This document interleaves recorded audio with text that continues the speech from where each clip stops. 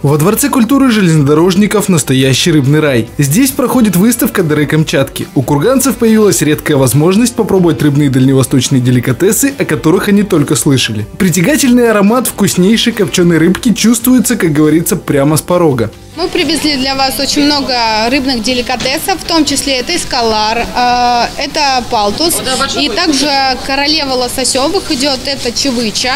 После того, как рыбу поймали, сразу отправляются в коптильню. Коптится она на опилках вишни, э, яблони и, конечно же, это ольха, что дает изысканный вкус именно нашим деликатесам.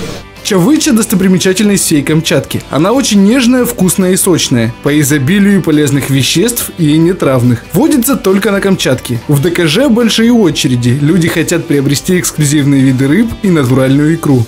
Рыбку хотела купить, посмотреть. Ну, выбор-то хороший, большой.